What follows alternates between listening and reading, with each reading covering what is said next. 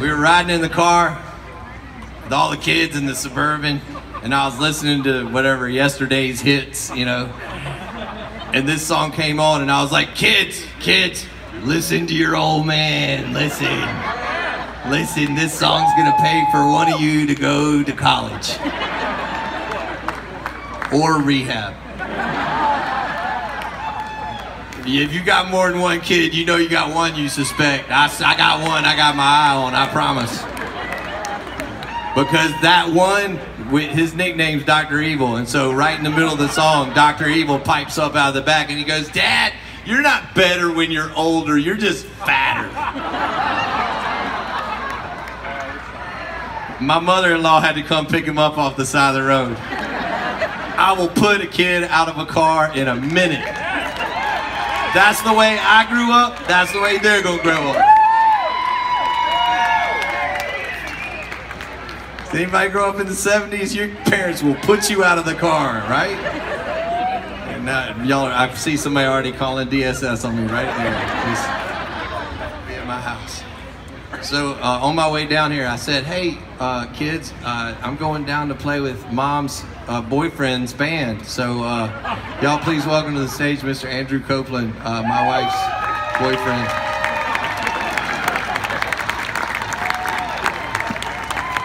My, listen, when we when I first started dating my wife, she had a sister Hazel cassette that was permanently in the tape player, and I I was trying so hard to get her to like me that I couldn't say anything about this stupid cassette that was in there for like months and months at a time. And then finally, she totaled that car, and I was so happy because she forgot to get the tape out. I mean, I love you guys, but god dang, man, uh, it was like months of it. It was I, months look, of it. I got tired of hearing me. Uh, I'll be honest.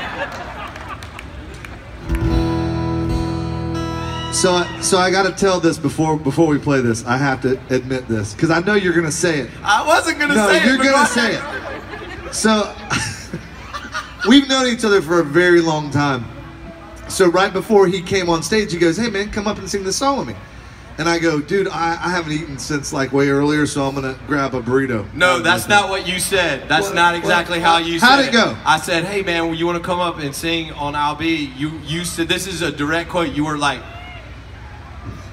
I have this burrito that's in the refrigerator, and I, I haven't eaten all day. And I was like, did you just, you just, you just picked a burrito over our friendship?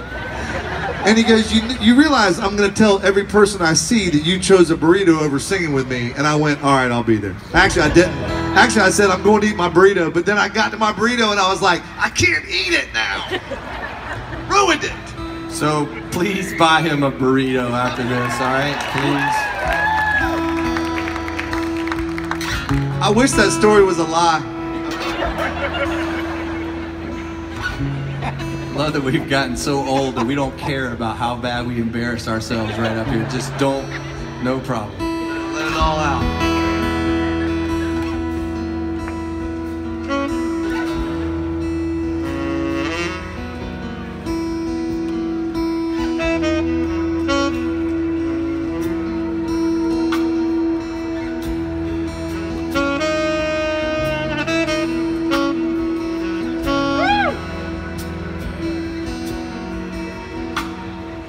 Strands in your eyes.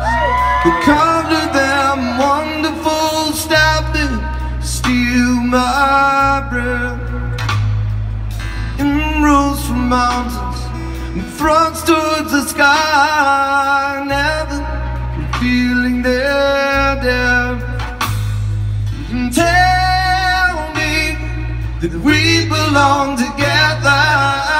Dress it up trappings of love. I'll be captivated. Hang from your lips, out on the gallows of heartache that hang from above.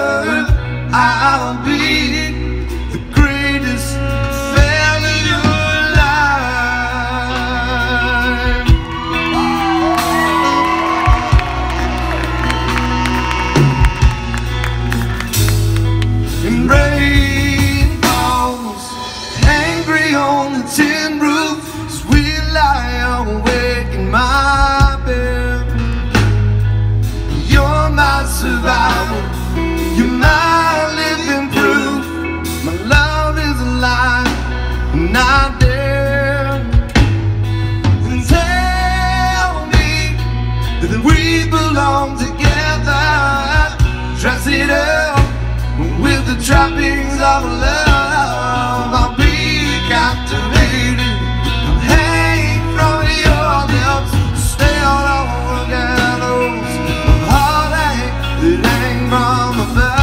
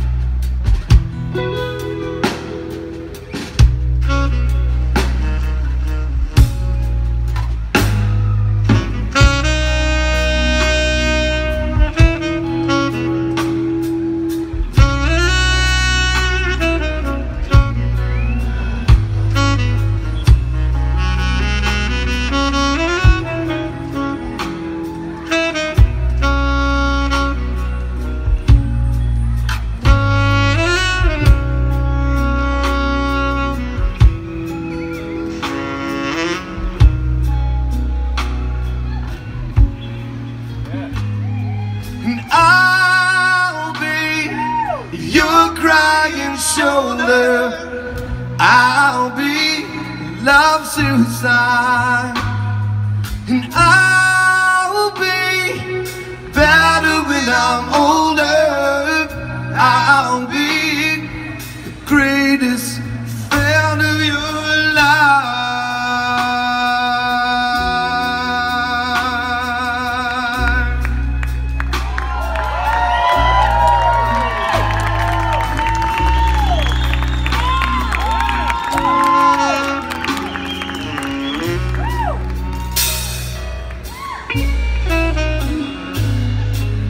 One of my dearest friends in the world, Mr. Edwin McCain, right there, you guys. Give it up for these guys.